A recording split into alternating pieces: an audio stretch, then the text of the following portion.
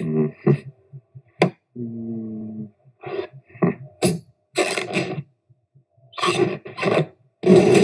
know? Yes.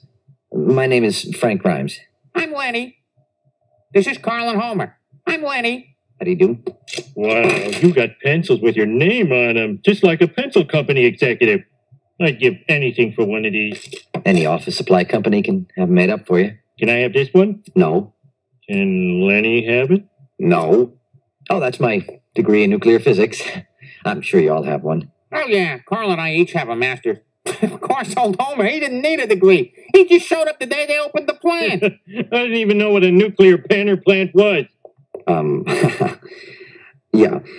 Well, listen, I'm sure you all have a lot of work to do. Hmm. Eh, Hey, seem like a great guy, so I'll give you a little tip. If you turn that security camera around, you can sleep and no one will ever know. uh, I don't think we're being paid to sleep. Oh, yeah, they're always trying to screw you. Huh.